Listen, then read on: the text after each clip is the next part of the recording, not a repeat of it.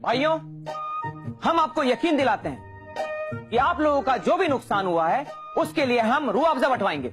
हम आपको यकीन दिलाना चाहते हैं कि हम यहाँ आपके बीच में आपकी हर समस्या का हल लेकर आए मालिक मालिक पहले बैल की गर्दन में जौन हल फंसा है वो निकाल दीजिए।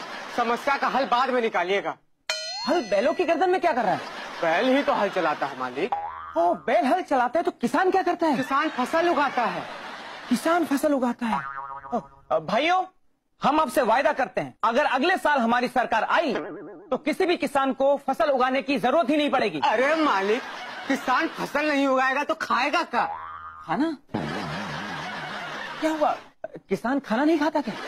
मालिक किसान पहले फ़सल उगाता है तब खाता है। और पहले उगाता है फिर खाता है। तुम क्या उगाते हो? कपास। कपास वेरी गुड मतलब किसान कपास खाता है? अरे नहीं मालिक कपास का कुर्ता बनता है। कुर्ता बनता है? मतलब तुम कुर्ता उगाते हो? मालिक हम किसान हैं।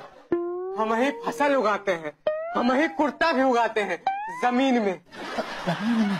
कितनी ज़मीन है तुम्हारे पास? छोटा छोटा टुकड़ा में कैसा रहा है?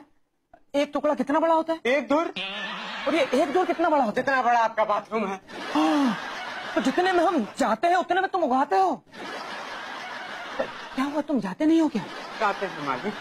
सवेरे जाते हैं शाम को जाते हैं कई बार आते जाते ही रहते हैं मालिक।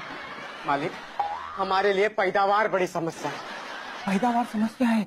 कितने बच्चे हैं तुम्हारे? छठ और छह ठो बच्चे और पैदावार समस्या कहाँ रह गई? अरे हम ज़मीन से पैदावार की बात कर रहे हैं। अरे ज़मीन से बच्चे पैदा करोगे तो फ़सल कहाँ उगाओगे मालिक! मालिक ज़मीन से जुड़ी कौनो बात जानते हैं आप? हाँ हाँ। हमारे बहुत सारे रिश्तेदार ज़मीन से जुड़े हुए हैं।